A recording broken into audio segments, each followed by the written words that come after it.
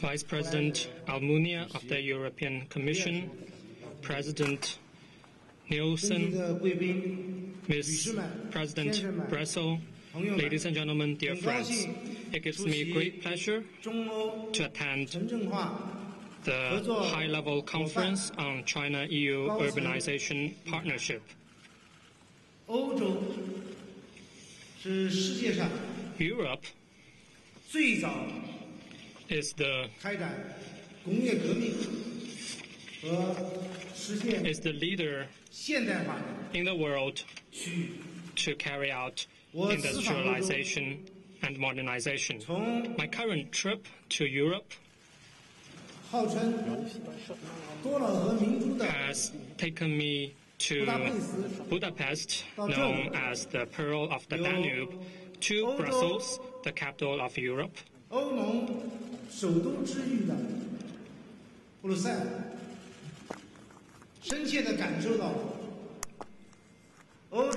I have been greatly impressed by European cities which have both rich historical heritage and diverse and modern appeal. China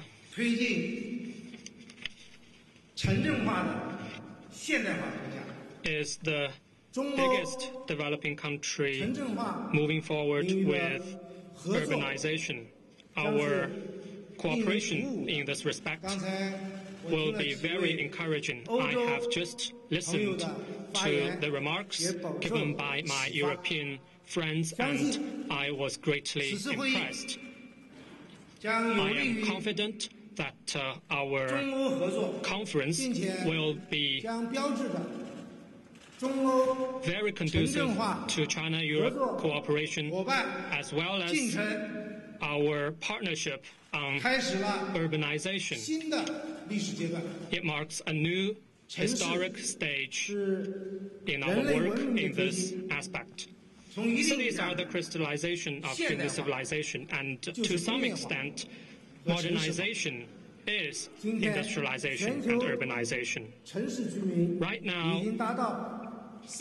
the global urban population has reached 3.6 billion, and 80% of the people of developed countries live in cities. 经济体和发展中国家，每 Meanwhile, 个月深 in 圳 emerging economies 数百 and 万 developing 城 countries, 市居民，成为世界 Over 城市化浪潮的 over 主体。 millions of people join the urban population every 全 month. 球城市体系 And in the age of economic globalization, cities around the world have brought countries closer than ever before, and urbanization is changing our world and our way of life in significant ways. In the 17th century, since the Industrial Revolution, industrialization and urbanization of Europe led the world. European urbanization.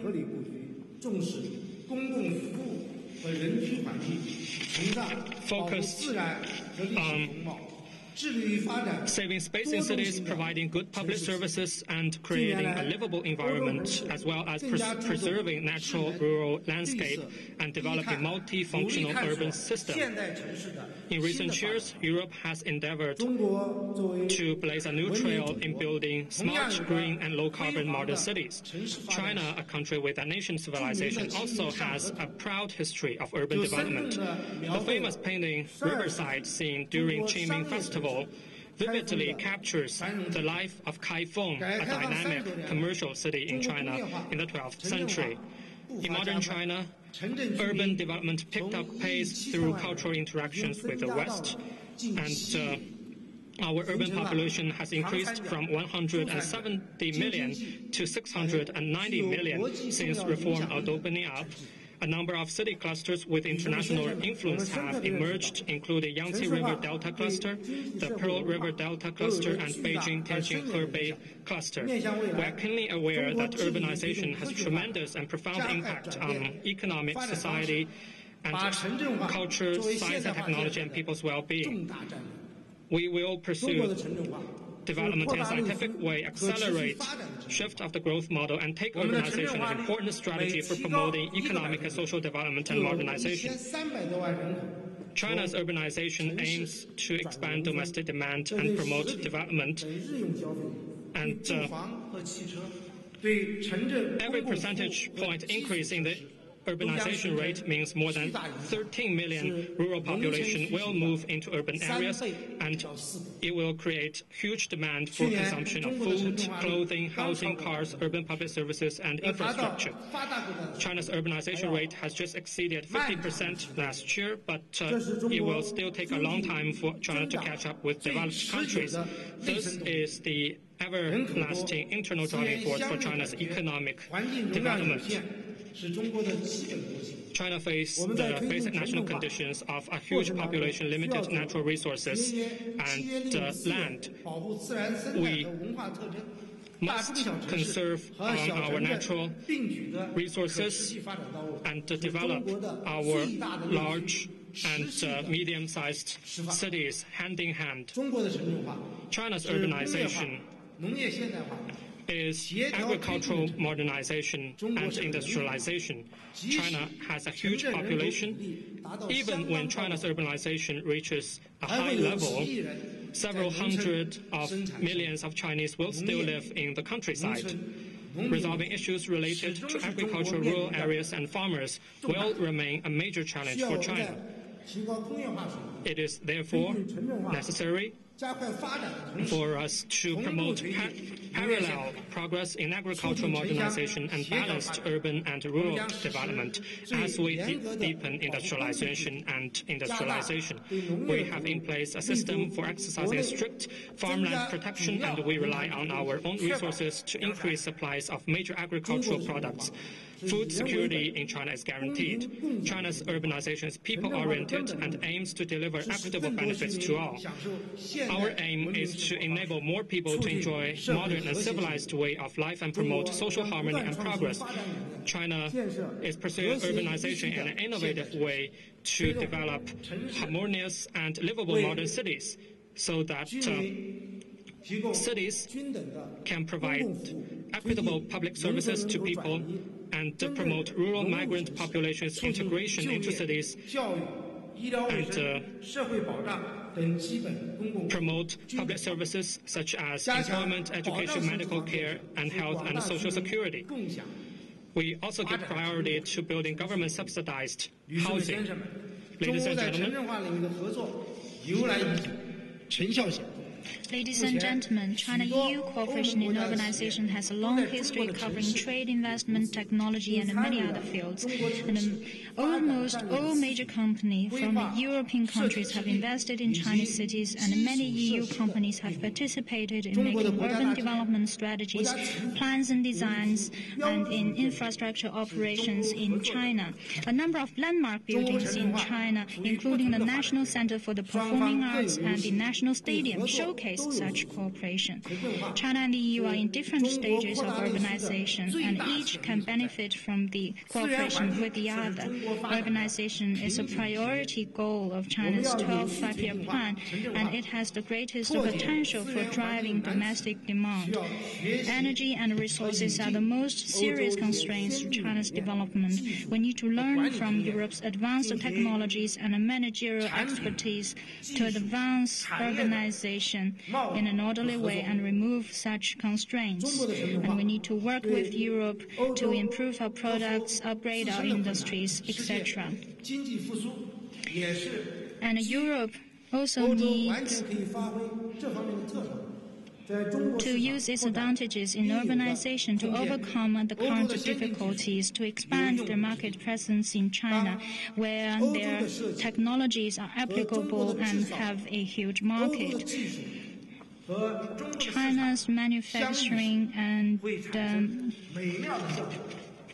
the EU's expertise are combined. Amazing things may happen.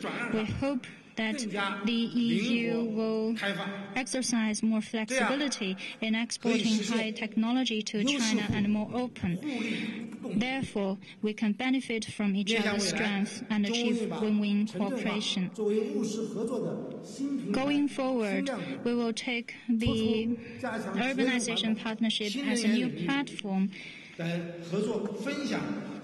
share expertise and experience in new technologies and inject new impetus to China-EU cooperation in the next decade and beyond. With this in mind, I propose the following. First, jointly promote sustainable development. This is a new way for cities to tackle challenges and win the future. Currently, less than 25% of the buildings in China's urban areas are energy efficient, and the per unit energy consumption of China's heavy chemical industry is 10 to 15 percent higher than the advanced international level.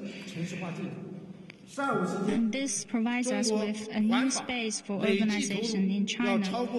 In the next five years, China is to invest over 5 trillion RMB yuan in environmental protection, and there is a huge potential to be, to be tapped in energy conservation. We're ready to pursue cooperation in R&D with the EU in jointly build green and low carbon cities and enhance cooperation in new and renewable energies, waste disposal, and environmental protection industries and circular economy. Second, deepen project cooperation.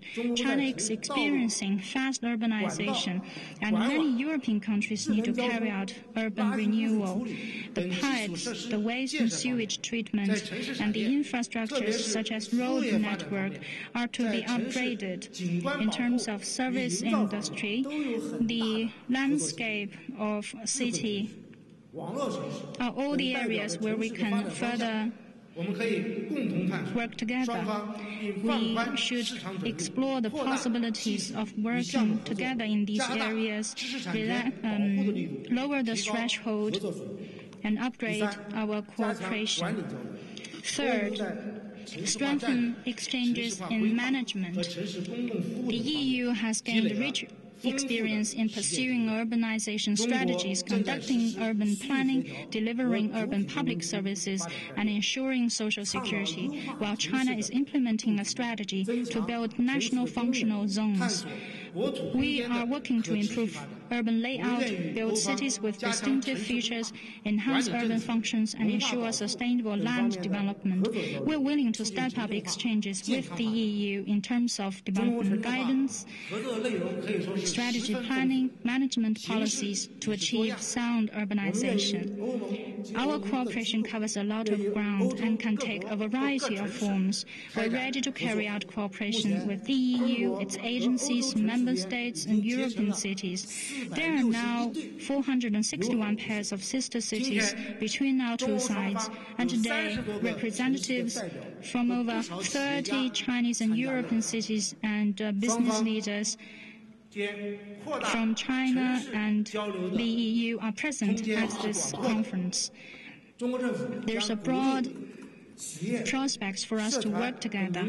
I hope that our cities will expand exchanges and I encourage active participation by businesses, public groups, and individuals to strengthen the foundation for promoting friendly cooperation between Chinese and European cities and carry out substantive cooperation both in the economic field and in people-to-people exchanges. Ladies and gentlemen, Europe has an important space in the world. With a strong economy and advanced technologies, it plays a key role in promoting global development. The harmonious development of the world needs a united, prosperous, and strong Europe, and such a Europe serves the need of world development and is the aspiration of the Chinese people. China and the EU. China-EU relationship is one of the most important partnerships in the world. As a the global economy goes through realignment and changes, China and the EU have become increasingly interdependent on each other. We'll continue to support Europe in its effort to maintain the stability of the euro and achieve economic recovery. We're ready to explore ways for effective cooperation and make contribution to resolving the European debt problems. Yesterday, China and Belgium signed a number of cooperation agreements. This afternoon, I will sign the joint declaration on the China-EU partnership on urbanization with President Barroso and witness the signing of China-EU joint declaration on energy security. We're committed to working with the EU to promote the continued growth of our relations and lift them to a higher level. Cities not just carry history, they create the future. Better city, better life. It represents the ardent hope of people both in China and around the world for the future of cities. Let us join hands to turn this hope into reality. Thank you.